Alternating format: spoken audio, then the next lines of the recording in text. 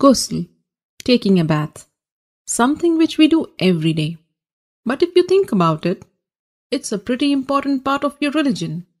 Because if you are not ritually pure, you cannot perform some important religious deeds.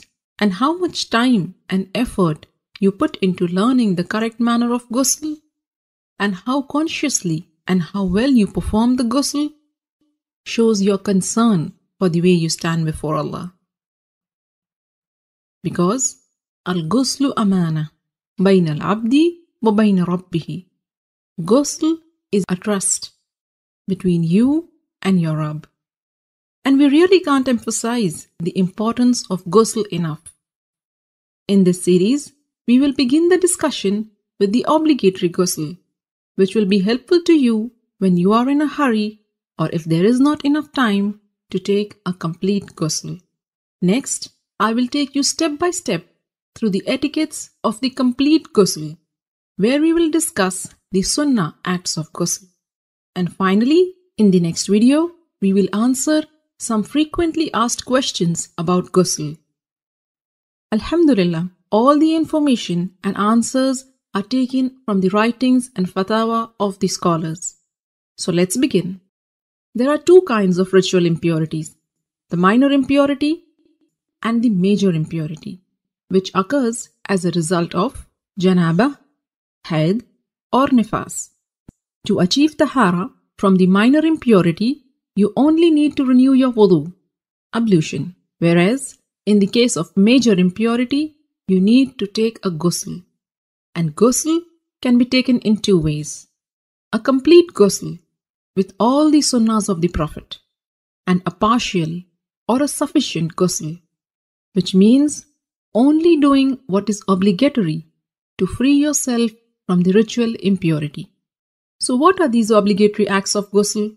A beforehand niyyah, intention that you are taking this bath to purify yourself from the major ritual impurity, rinsing your mouth and nose, and letting water run over your entire body at least once. Make sure it reaches every part of it, even your scalp under the thick hair. If you manage to do this much, then you have purified yourself from the major ritual impurity. As for the complete ghusl, and this is the mustahab one, and it is how the Prophet ﷺ took a bath. And this is how you do it. Begin with an intention to purify yourself from the major impurity. Then say Bismillah. Wash your hands three times. Then with your left hand, wash your private parts and anywhere else that is contaminated with traces of impurity. Then make a complete wudu, just as you would for prayers. Then pour water over your head three times, rubbing and making sure that it thoroughly reaches your scalp. Some scholars said three times means once on the right, next on the left, and then in the center.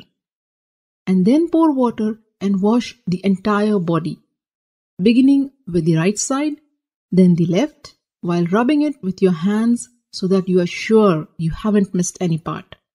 So these are the etiquettes of the complete ghusl.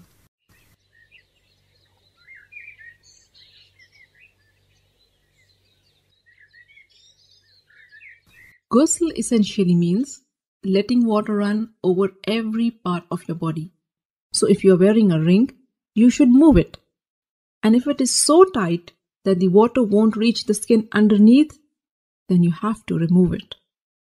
Cosmetic items which form a barrier and prevent the water from reaching your skin must also be taken off.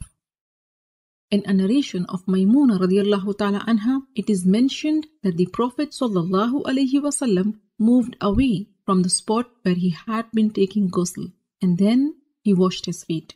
Sheikh Ibn al-Uthaymeen rahimahullah explained that what is apparent from the various narrations is that the Prophet washed his feet after ghusl only when there was a need.